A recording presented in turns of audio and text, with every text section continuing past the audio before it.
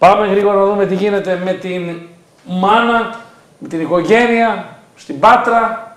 Βγαίνει ο ταξίεχος εναποστρατή, ο κύριος Θανάσης Κατερινόπουλος, γνωστός από τις εκπομπές και της Αγγελικής Νικολούλη.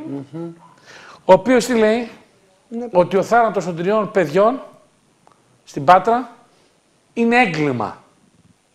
Ξεκάθαρα τα λέει. Ξεκάθαρα τα λέει, όπως το λες. Ξεκάθαρα τα λέει. Τον ακούσουμε. Α, Τον πολύ ακούσουμε, ωραία, δεν λέει. Πολύ ευχαριστώς.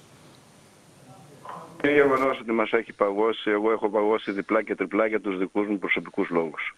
Ε, ε, δεν μπορώ να πιστώ ότι οφείλεται σε κάποια αίτια παθολογικά κλπ. Γιατί υπάρχουν κάποια ερωτηματικά τα οποία έβαλα και χτες, βάζω και σήμερα και συνεχίζω να τα βάζω που πρέπει να δώσουν απαντήσεις και η αστυνομία και οι επιστήμονες.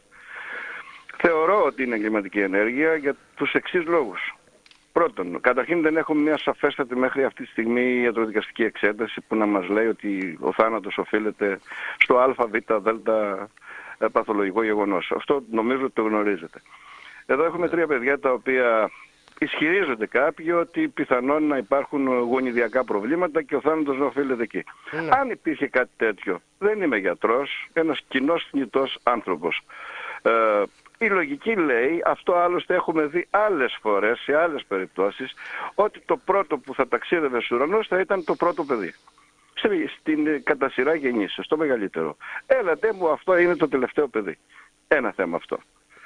Ξεκινήσαμε δηλαδή από, τα μικρά, από το μικρό παιδί, πήγαμε στο δεύτερο και τελευταία πήγαμε στο τρίτο. Χωρίς, τονίζω, να έχουμε μέχρι αυτή τη στιγμή μια επίσημη ιατροδικαστική έκθεση που να μας δίνει αιτιολογία θανάτου.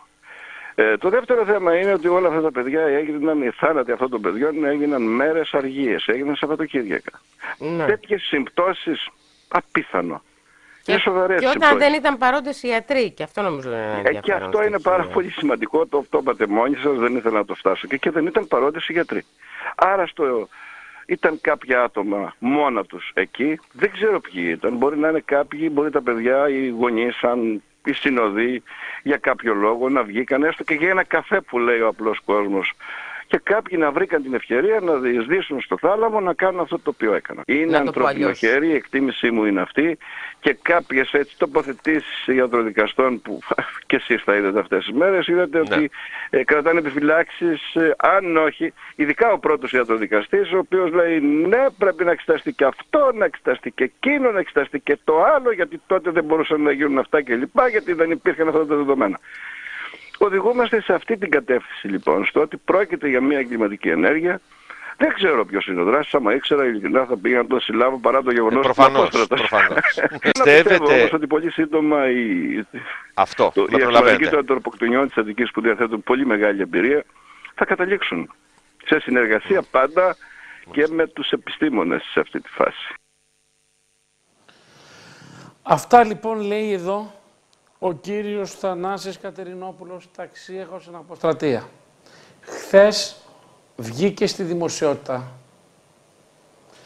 ε, μία υποτιθέμενη αποκάλυψη, η οποία διαψεύτηκε στη συνέχεια, Επισήμως. η οποία τι έλεγε, το συγκεκριμένο ρεπορτάζ που είδαμε δημοσιευμένο σχεδόν σε όλα τα ενημερωτικά site της χώρας. Ε, έλεγε ότι ο θάνατος της μικρής Τζορτζίνας προήρθε από την εισπνοή κάποιου αερίου ε, το οποίο προκαλεί ανακοπή στον ε, ανθρώπινο... Τοξικού, ναι. Τοξικού, Και ότι υπήρχε τοξικού. αλλίωση στο κόκαλο της μύτης και από εκεί κατέληξαν σε αυτό το συμπέρασμα οι ιατροδικαστές. Ναι, αλλά τι έγινε; Βγήκε μια ανακοίνωση από την Ένωση Ιατροδικαστών ότι ουδέποτε ε, εμείς ανακοινώσαμε κάτι τέτοιο και ότι δεν, έχει τελειώσει, ε, δεν έχουν τελειώσει ακόμα οι εξετάσεις για την μικρή Τζορτζίνα. Μάλιστα, υπήρχε το ξέσπασμα του πατέρα παράλληλα. Βέβαια Ναι. και υπήρχε το ξέσπασμα του πατέρα, αλλά υπάρχει και του κουμπάρου. Ας ακούσουμε τον πατέρα πρώτα, γιατί κατηγορούν... Όχι κύριε Τζίφα, εγώ θα πω το εξής. Να ακούσω. Εγώ θα μείνω στο τι λέει ο κουμπάρος του ζευγαριού που λέει Α, ότι για τον κοίταξε. Μάνο, για τον πατέρα βάζω το χέρι μου στη φωτιά.